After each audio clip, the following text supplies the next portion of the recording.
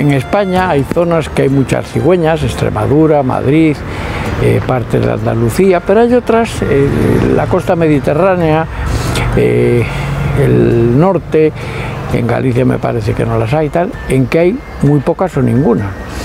A la gente le gusta ver cigüeñas y se puede ir a Doñana a verlas, pero si quieren las pueden venir al Zoo de Santillana, que incluso estas no tienen ni que sacar entrada. Porque tengo en el aparcamiento, se me ha montado una colonia de cigüeñas que estoy encantado. La primera cigüeña que yo vi, la vi en medio donde hay dos allá arriba, en la secuella que planté yo hace 34 años. Y allí se me han instalado cuatro nidos.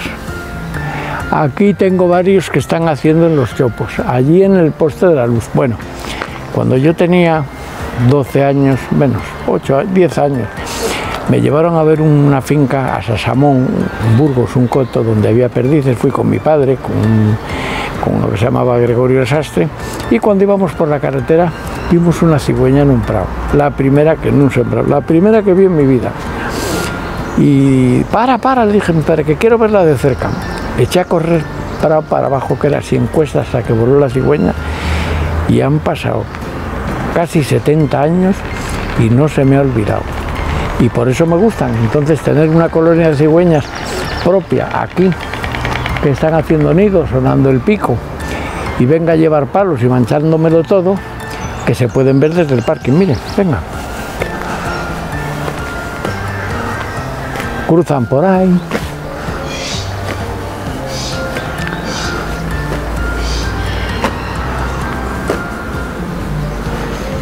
En este roble, que todavía no tiene hojas, tengo cuatro nidos. Había dos el año pasado. Y este año se me han instalado otras dos parejas. Y están ahí las tías trabajando. Se les caen bastantes palos. Pero parece que están estables. Tendré que probablemente poner una cuerda y acordar una parte.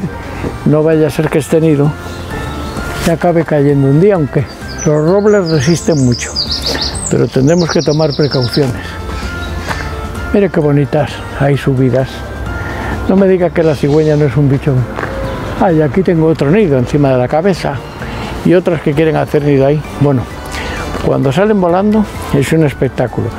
Y cuando llega el mes de julio y ya vuelen todos los pollos a finales de junio, a veces se forma aquí un bando de cigüeñas que yo me quedo tumbado así en el jardín mirando para arriba, totalmente catatónico.